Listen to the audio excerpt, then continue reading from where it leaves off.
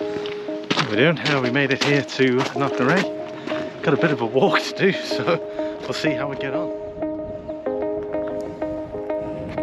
There's a shot there of uh, Queen Maeve's cairn. With the ox mountains going round. It's just like a bay.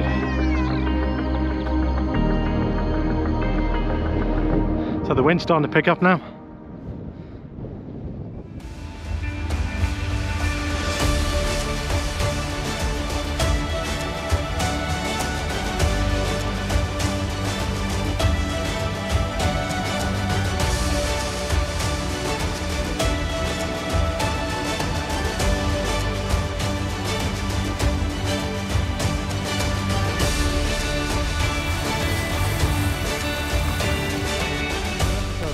To uh, Knocknarea in Sligo.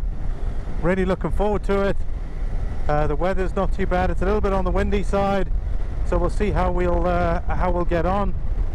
But uh, there's a lot of history there. I'm looking forward to showing it to you. So uh, stay tuned, keep watching, like, comment, and subscribe. And uh, we're going to have a really good day. We've got two two spots to have a look at. That's uh, Queen uh, Queen Maeve's uh, grave, and we've also got uh, the Glen, uh, which is a nice little hidden spot. Not well signposted, but uh, really looking forward to showing you that. Uh, so enjoy the show.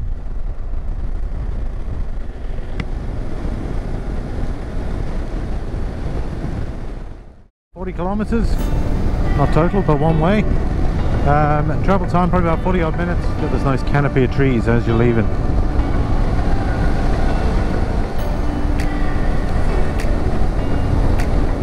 This is lovely old building here. And then we continue on. We're about 15 minutes away from our destination. Now we've still got uh, a bit to see before we uh, carry on here. Crawley Lake at the moment. Uh, beautiful, nice woodland area.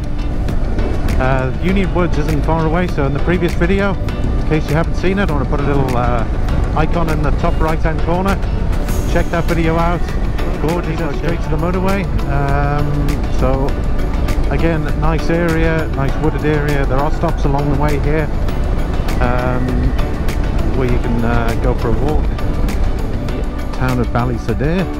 So, if you guys have seen my Wild Atlantic Way um, experience. I'm going to put a link up in the top right hand corner where we went from uh, ba- basically Ballysadare all the way down to Enniscrone so be sure to check that video out uh, it's awesome there's some great scenery uh, I managed to get some great drone footage as well so be sure to check that out. Um, I'll put it there in the top right hand corner. We're going to be taking a right here so we're going to be taking all the back roads uh, to Knocknarea so delighted with that. I thought we had to go on the motorway but obviously not. And we're heading towards uh, Strandhill which is also in my Wild Atlantic Way part 2 video. So be sure to check that out. Just in case you skip forward top right hand corner I'll uh, put a little uh, information tab there so you can take you straight to that video. That's where we're headed. We're headed right up there. That is Knocknarea there's Queen Maeve's grave on top. Uh, it's the second I believe it's the second biggest uh, cairn in Ireland. Um, right up the top there. So really looking forward to that. There's Knocknarea looming. As we get closer and closer we're about six minutes out we've got a beautiful view here on our left hand side. Look at that. Just gorgeous. Looking forward to the view at the top as well. But uh, yeah just fantastic. We've got the Ox Mountains up there. We've got a do here. So there's a car park here. It looks like there's a bit of a walk. So it's going to be it's going to be good. There's the pathway. We can see directly ahead of us. So we'll be parking here. Uh, there's a little stall here. This lady uh, sells a few bits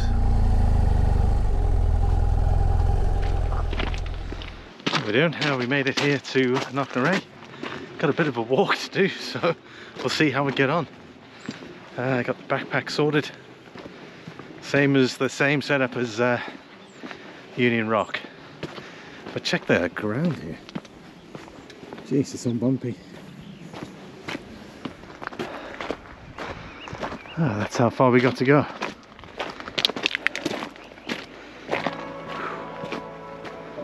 Tell you one thing, when I did that walk through Union Woods, I uh, didn't realise how un unfit I was. I suppose when, when you're on a motorbike, you're just going somewhere, getting off, and then back on the road again, you know? You don't really do much hiking on the front here.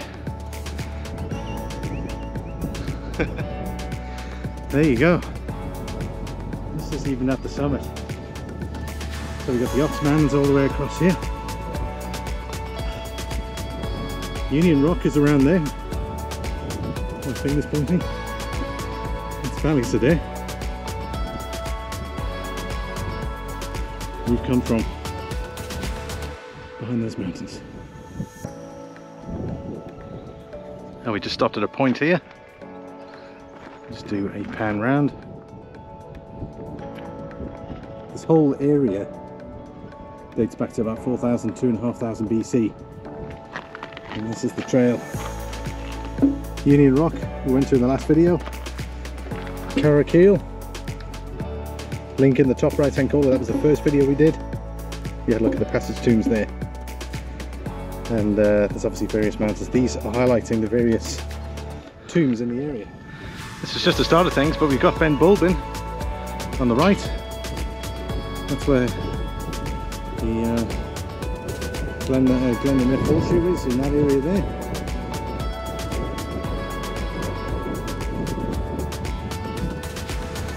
Beautiful view up here, good day for it.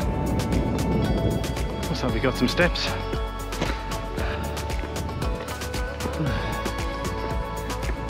the top there, haven't got much more to go. Just have a short rest. Starting to feel pretty good.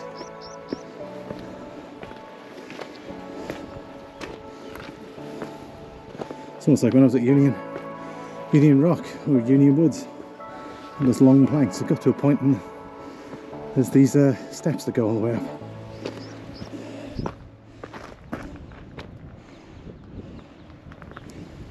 Okay, we're coming up to the top here, almost, almost there. It's a, just a bit more to go. You can just see how imposing that, that is at the top. They say um, bad luck to, to walk on them, apparently. And uh, it might uh, create a curse or something like that. So it's very bad luck to walk on the cairn, so don't think about doing it if uh, you're ever here. But uh, I'll tell you that is one, one of the most strenuous hikes I've done in a long time.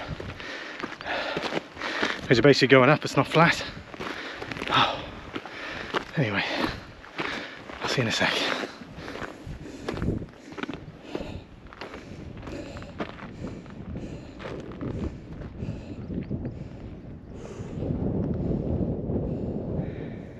Oh, there's some information on Queen Maeve's cairn. Goes back to Neolithic times, 4,000 to 2,500 BC. We're at the top of uh, Queen Maeve's cairn. It's on my right hand side here. As I said, it was the second, it's the second largest uh, cairn in Ireland. And um, the, the site here is, uh, is dotted with about another five, five cairns, smaller ones obviously. And there was also a detail of a Neolithic settlement uh, down on my right hand side all the way around here and there's even some roundhouses on the left side of the uh, of the mountain in case you're not sure what roundhouses were during the Neolithic period obviously the houses were round and they were made of stone. Uh, hence why the the term kind of round houses stuck. And uh, Queen Maeve as she ruled about three and a half thousand BC thereabouts. And the uh, story goes obviously that she's uh, buried upright here to face her enemies in, uh, inside. And it's what they refer to as a passage tomb. Now a passage tomb in Carrowkeel for those that saw that video I'll put a link up in the uh, the right hand corner there. You can check that out. Carrowkeel has a passage the passage tombs consisting of a long passage and then you've got the call it the tomb and that on the uh, on the end. So uh, they reckon there's about five in there with one of them being uh, Queen Queen Maeve's, the sort of the, the last one. And uh, She, uh, she, supposedly the report is that how she died was she had a particular bathing spot where she'd, uh, where she'd go. And uh, there was a there was a fellow by the name of uh, I'm trying to remember his name now Fair Fair Fair Fairbraid or something like that. Anyway, this character, his mum was uh, was killed by Queen Maeve, and uh, he'd been planning his his revenge for quite some time. He'd learned how to use a slingshot, and he'd perfected it so well that he could hit an apple uh, with with with obviously a, a, piece of a piece of stone. And um, obviously, waited for the right time for Queen Maeve uh, to be at the bathing spot and uh, killed her um, while she was bathing. Now, apparently, he he killed her with a block of cheese. Apparently, so I'm not sure how true that is. I'm not even sure how true this whole uh, the whole the whole legend is. But um, she was the Queen of Connacht, which is the area that we're in, the kind of the province. Um, there are provinces of Ireland, and Connacht is one of them and she was a ruler of that area. When we go to Roscommon, I'm going to show you where she ruled from. Um, so I'm, I'm, I'll provide more information on that at a later date. But uh, she ruled from an area in Roscommon, and uh, the site's still there. And um, I've been really looking forward to showing it to you. But uh, let's have another. We'll have a good look around, and uh, we'll get some more video in. Thanks for watching. Don't forget to like, subscribe, and to comment down below. It says the uh, the stone apparently is there's a, a, quarry not far from here. That's where a majority of the stone actually came from. Um, but it's quite a substantial amount, as you can see.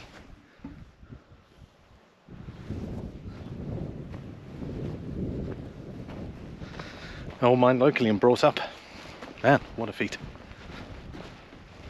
Anyway, we're going to start making our way back.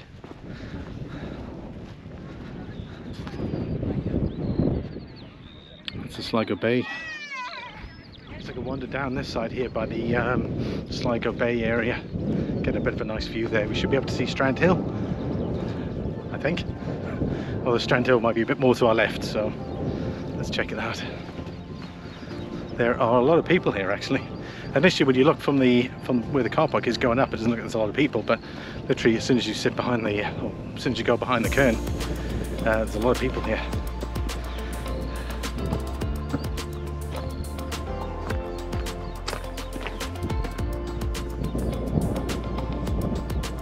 Wow, it really it does open up here. Check this out.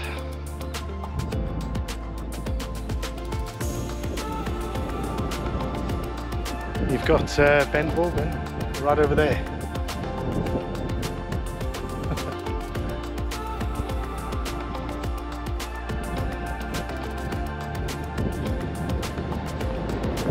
so the wind's starting to pick up now. Thinking that over there is Glencar. Again, another video in the top right hand corner. If you haven't been to Glencar Waterfall and Lake, definitely check it out.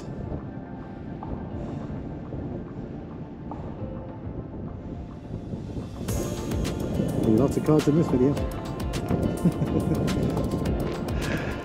Hope you enjoyed the content so far. Um, delighted to be bringing you more locations. Uh, Union Rock was nice. This is just fabulous. Bit of a hike to get up here though. Got to make sure you sure you're prepared. I've got one and a half liters of water in my backpack. Got to make sure you wear light clothing, and everyone's probably I can see it. Everyone's looking at me thinking, "Geez, where'd this guy come from?" but uh, it's actually not that bad. All the linings are out. The wind's blowing as well to keep me nice and cool. Anyway, I'll catch you later.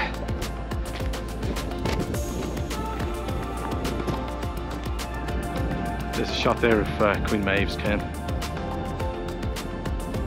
the Ox Mountains going round. It goes all the way into Mountain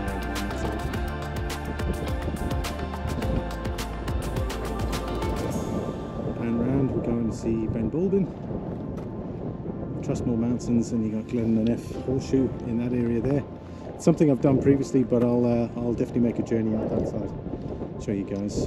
Truskmore Mountains Glencar and he starts going to Leitrim. Beautiful. Just taking a quick water break and we'll uh, start making our way down. I hope you enjoyed the view. The view's fantastic around here. A bit of history as well in relation to the location in Queen Maeve. Um, but it's interesting, this whole area around here is just fill, uh, sorry, filled with Neolithic history. Uh, and you're talking 4,000, 3,000 uh, BC, so you're going back substantially. Hope you can hear me there. I've got the sound buffer on, or wind buffer, sorry. But um, I'll catch you in a sec. That's, this is my view over here. This is the uh, coming down the top now. Probably not going to film all of this. You've already seen it come uh, with me coming up. So, and the wind's pumping. At least the wind is It's there interesting when you're keep coming from there. You just it just you don't even see this curve. It just kind of looks like it drops off. So we're going to take the uh, the the path of least resistance. because uh, that just looks like a nightmare. this doesn't uh, it doesn't look any better, but at least you can sort of see where where, the, where your steps are. So the wind is pumping. It's creating my nose to run a bit. Get the hay fever uh, level up. I've already taken hay fever tablets. So once we get down there, actually? Oh. kind of makes you think how many people have actually actually walked on this site because it man the ground is just trodden in. Here we go.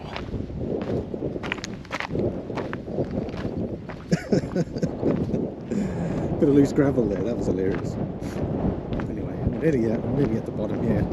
Start to level out again. And then maybe, what, 15 minutes to the car park? Interesting, from this area here you can see there's a dwelling, oh, or used to be a dwelling down there. That's what that signboard was when we were climbing up. Okay, those houses that I pointed out from the top there are actually part of a deserted village apparently. There's a little board here that says the deserted village. This level terrace was the central part of a settlement on the hillside which existed in the early 18, uh, 1800s and perhaps for many years before as shown on the Ordnance Survey map which is just over here. I'm going to try and zoom in so you can have a proper look.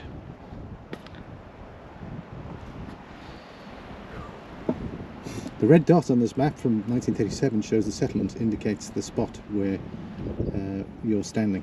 Wow, okay, so there were actually houses. That's where we're standing, and you can see there was actually more houses there. Interesting. Deserted village. Hmm. Wonder I wonder why the people left. This is where I'm going to end the video uh, because once we get down here, it's pretty much back to the car park. So, guys, I hope you really have enjoyed the experience coming here to Queen Maeve's Cairn, overlooking the bay of uh, Sligo and the surrounding area. Just fabulous. Um, if you come into the area, definitely a highlight for me is here, and Union Rock was also a good spot. Um, so be sure to take your time when you come here enjoy the scenery around there there's there's loads of walks up at the top there we've only done one section of it so be sure to just maximize your uh, your trip here and give yourself loads of time but uh, thanks for, thanks for watching. Uh, please like subscribe and um, give me a thumbs up as well. Um, well that's part of the like comment down below. Um, uh, you guys are a bit shy uh, commenting so uh, I'd appreciate some feedback. But uh, let me know what you think. I'll leave you with this. Thanks for watching everybody and I'll see you on the next video